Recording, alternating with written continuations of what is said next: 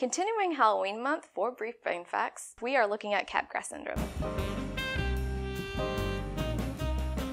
Imagine waking up from having been frozen after a nuclear holocaust, only to find a post apocalyptic wasteland left behind. Luckily, some humans survived and created little villages with the hopes of rebuilding civilization. However, when you encounter a village, the people look upon you with suspicion, and to your surprise, ask if you are actually a human being. After you overcome their distrust, they tell you about the recent attacks they had to fend off from synthetic humanoids or synths and how one of the most well known and beloved villagers was replaced by a synth. And the real human was either kidnapped or killed by the organization responsible for creating these imposter humans. While this is an aspect of the 2015 video game Fallout 4, this is the stuff of nightmares. The idea of humans being replaced by imposters is a theme found in some horror movies, like the invasion of the body snatchers, to video games, like the one I just mentioned. However, this is a real syndrome, with real people who are 100% convinced that a loved one has been replaced by an identical imposter. So today, we're discussing the Capgras delusion and the brain mechanisms involved that create the unique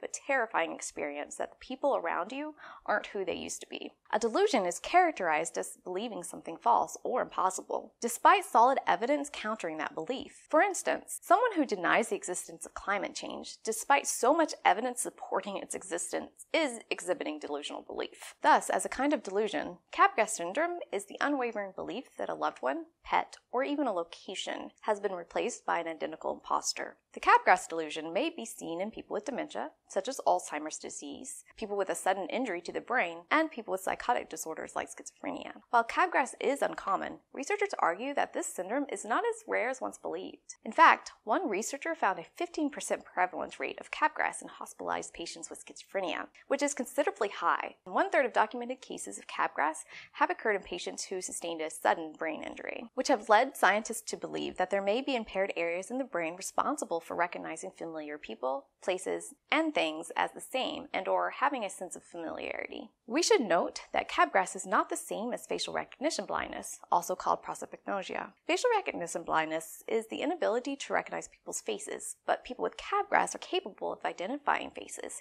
even familiar or well-known faces, such as faces of celebrities. Again, people with Capgras believe that familiar people, places, or things have been replaced by identical imposters. When people see a loved one in, say, a photograph, they typically have a subconscious reaction, and this reaction can be measured using electrodermal activity. This means that we can measure the change of electrical signals of the skin. These reactions, or changes, correspond with emotional responses. In healthy participants, upon seeing a familiar face, especially the face of a loved one, you find skin conduction changes. However, this change is absent in those with Capgras syndrome, even when they correctly identify a face. This has led researchers to propose that there must be some disconnect between the ability to correctly identify faces, the overt response, and the ability to have an emotional reaction to the face, the covert response. They've gone a step further to outline the underlying brain mechanisms involved in Capgras. In healthy people, visual information, including the visual information of familiar people, is processed using the visual cortex and moves both dorsally from the visual cortex to the superior temporal sulcus, or STS,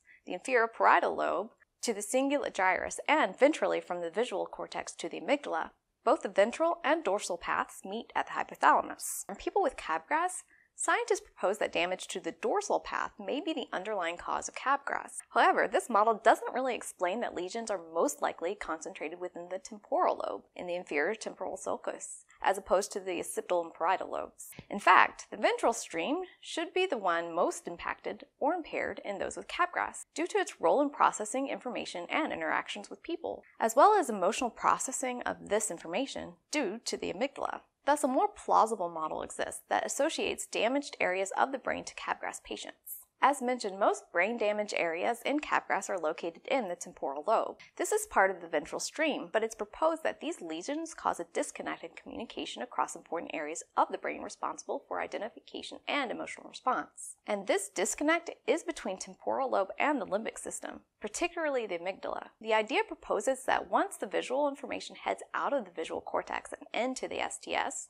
the dorsal path, and the amygdala, the ventral path, another kind of communication occurs between the temporal area and the amygdala. This model would not only explain why facial recognition is intact in most patients with Capgras syndrome, but would also explain the lack of electrical signals on the skin, as this response is mostly regulated by the amygdala. So let's break it down. When people with Capgras see someone they know, they identify correctly, and the ventral stream is mostly responsible for this correct identification. But when the crosstalk between the temporal lobe and the amygdala of the ventral stream is impaired, it produces no feelings of familiarity. The correctly identified individual is unfamiliar. They just don't feel that they know them. The correctly identified person, like a parent or a loved one, is strange or foreign, as the emotional response towards that loved one fails to be evoked. This model is most consistent with symptoms of Capgras and may explain why they are able to correctly identify a loved one, but then see them as identical replacements as the same subconscious emotional response they once had towards that loved one is no longer present.